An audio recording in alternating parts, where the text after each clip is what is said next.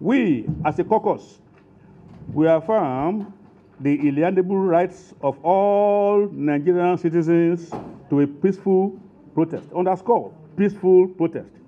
So those who have engaged in peaceful protest, they are doing what is appropriate and is recognized all over the world as such.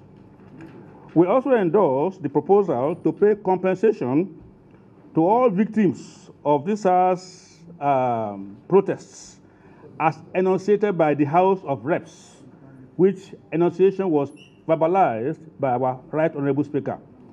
So we stand with him, we align with him in, com in complete totality. We condemn the attack on the critical infrastructure and other investments in Lagos and in other southwest locations.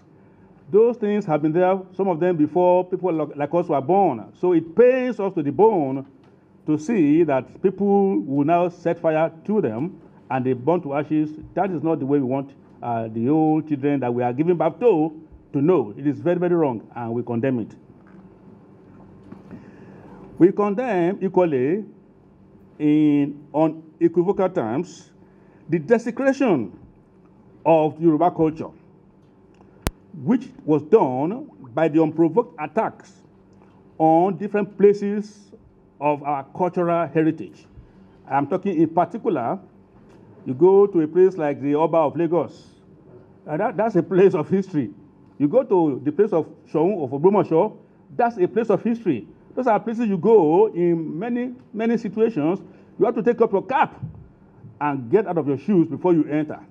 And then, just over the past few days, uh, for whatever ploy or reason, people go there and desecrate all these things. We really don't like that. And we want the whole world to know. Also, we have some leaders, not just cultural like Obas, even some of our political leaders.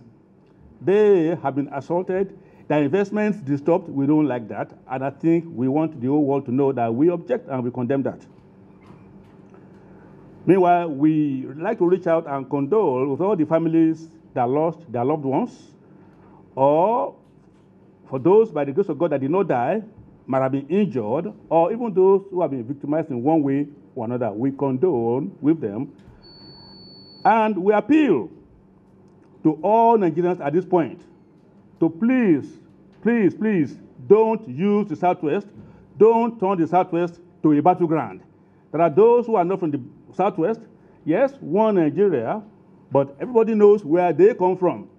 And we don't want the Southwest, particularly Lagos, that is so accommodating to everybody and to anybody, to be turned into a battleground by those who may not consider themselves stakeholders. We are stakeholders of the Southwest. We don't want the Southwest to burn. This is not 1964, 65, the day of Wete. Wete is no longer, and we don't want anything like that.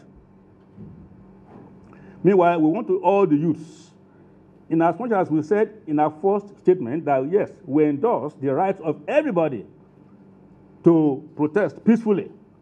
We want the youth at this point to come back home and sit down and have a rethink and get out of the mindset of any violence. Further, we don't want any further violence. The point has been made.